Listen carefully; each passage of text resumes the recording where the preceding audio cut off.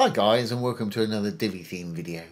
This is Jamie from System22 and webdesignandtechtips.com. We've got our little Divi e-commerce store here. I've got a product image here. When I hover over it, a little add to cart button is going to pop up. And of course you can click on it and add it to your cart.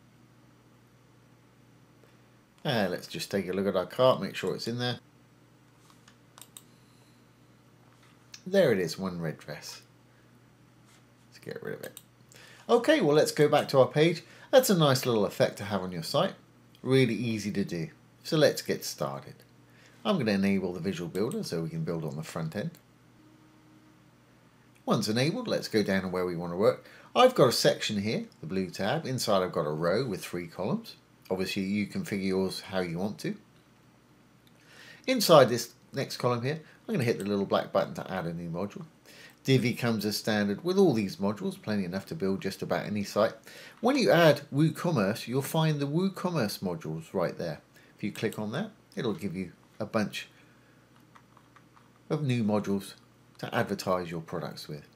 I'm going to use the add to cart button here. There it is right there. And as you can see, it pops it in here with a few options. Let's add the product that we want. From the product drop down here, I'm going to go and let's have a look. I've got a red dress there. Let's see if we've got a blue dress. There we go. Let's pop that one in there perhaps. Great. It's found our little dress there. Down below you've got elements. You can show stock or show quantity field. I don't think I want to show either of those. I just want them to be able to click on it and add it to the cart. Okay, if we roll on down, down below you've got a link button to link the actual module somewhere, you could link that to the actual product yourself if you wanted to take it to the full product page. The button's still going to add it to the cart for you. I'm going to leave that blank for mine today. At the moment, we're not going to put a background in here or an admin label. Let's just pop over to our design. I'm going to just go to the text. I'm going to pop the button into the middle for mine today. Great. Okay, well, let's get the image for the blue dress. Let's just save this. And the way this has worked, if you watch any of my other Divi videos with hover effects, we've got an image here which is actually in the column of the row and our module sitting on top. That way we can trigger our hover effects and what have you. So I'm going to go into the row, the green tab. We're working on the middle column. Here's the middle column. I'm going to go down to the background to find the image that I want to use for this product. And you've got color, gradient, image, video, background pattern or background mask as usual with Divi. I want an image. Let's find the blue dress. I guess that'll be it. Okay, and at the moment we can just see a little bit of the top there. So what you want to do is add a bit of padding to make it the size that you want it. I want mine pretty much the same as my one next door, so I'm going to use the same padding as I used for that. So let's go over and save our column. We'll save our row. Let's go back into our little module now, and we can make it the shape that we want. Over to Design tab, and we go down to Spacing, and we're going to use a bit of padding top and bottom to make it the space, the size that I want it. I happen to know from the one next door I put 300 pixels padding on the top and I think I put 20 pixels padding on the bottom. Obviously you make yours the size and aspect that you want there. Okay, so we've got that in there. Now I want to make that button a little more interesting. I mean it's okay, but I just want to make it more in keeping with our site here. So let's close up the spacing. And if we roll up just a little bit, there's the button. I'm going to hit use custom styles for button. Text size itself is fine. I'm going to make the text color white. I'm going to give it a pink background like I've been using for the rest of this site here. I've got a little chrome color picker up here. Let's just grab this hex code. And I'll pop it in there. That's fine. Don't want the white border around there particularly. So I'm going to take the border off with the border width just down below here. Or of course you can make it any colour you want. And we could change that colour on hover if you wanted to, so perhaps a purple. And this is common to all Divi modules. If you hover over the dark writing at the top here, you'll find some little icons. If there's a little arrow icon, we can set a hover state for it. Desktop states when your mouse is not on it. We'll leave it that color right there. Hover state obviously is when your mouse is on it. Let's make it perhaps purple when the mouse is on it. That's fine. And we'll flip it back to desktop. Great. Not going to do too much to this button. Divi's just partnered with Font Awesome, so there's a lot of icons here now. You can either search, or they've got a little button here. If you click on it, it'll pop out in the break breakout box for you. I'm going to search for a cart though. There's a little cart with a plus. That'll work for me. And I want to show that all the time. So button icon color, Want it white. Right hand side's fine. I want it to be there all the time. So where it says only show icon on hover, I want to flip this to no so it shows it all the time. Great. And we'll put a bit of text shadow in there, make that text stand out just a little bit more. And let's finish off just with a bit of box shadow.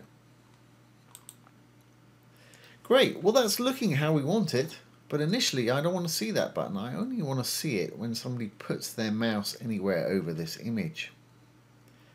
So still in our design settings, we can keep rolling down and we'll find filters. Click on filters and we're going to roll down till we see opacity. There we go, opacity. Now opacity is transparency or see-throughness if you like. So when we first view this image, I don't want to see it at all. I'm going to take the opacity all the way down to zero. As you can see, or as you can't see, the buttons disappear. When we hover over it, I want it to come back. So again, I'm going to do exactly the same. I'm going to hover over, get the little arrow up. Desktop, it's fine being invisible. When we hover over it, I want it to come back and be fully visible. Great. And the time it actually takes to go from desktop state to hover state with Divi by default is 300 milliseconds. That's pretty quick. I like to slow mine down for a little bit of drama. To do that, go up to your advanced, roll on down a bit, you'll see transitions there. There's the default 300 milliseconds. I'm going to speed mine up to maybe half a second, a bit slower perhaps, 600 milliseconds. Don't want any delay, want it to happen as soon as their mouse hits it. And the transition speed curve I want to use Ease is okay. I'm actually going to use ease in out for mine. That way it'll ease back out again. They're all pretty similar. Some will work better in certain situations than others, so check them out. But mostly for my hover, I like that ease in, ease out. Great. Well, let's just save this. Now, before I save this and show you, once you've got that first one made, it's really easy to make another one. Simply just clone the module, two little squares right there. Move one of them over, it doesn't matter which one because they're both exactly the same. Then you can just go in there, select a different product. Let's go for a lightweight shirt. As you see, your, your button's already going to be in there and it's invisible because we made it so. So let's go back into our column, put the image that we want in there now into our column. Column number three, background. There's the image, and it was a lightweight shirt. Let's find a shirt that fits that description. I guess that will do. And we got an image in there. And we got the button going to where we want it. So adding a new one is as simple as that. So we'll save everything there. We got our cart icon on that one. Let's save our page changes and check it on the front end. Save draft or publish if you're ready. And let's exit the visual builder And there we have it. There's our little red dress. Let's add that one. There's our little blue dress. Let's add that one. We added a little purple hover color on that button. And let's add a lightweight shirt. Great. Let's check our cart, make sure it's in there. There we go, one red dress, one blue dress, one lightweight shirt. So there you go guys. Here's how to create a little fade in add to cart button over your product image. Really easy to do, nice little feature to have on your site.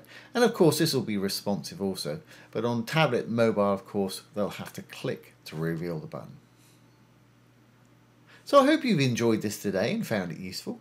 If you have, please give it a thumbs up, ring the bell, comment, share, and subscribe to our YouTube channel. Once again, this has been Jamie with System22 and webdesignandtechtips.com. Thanks for watching. Have a great day.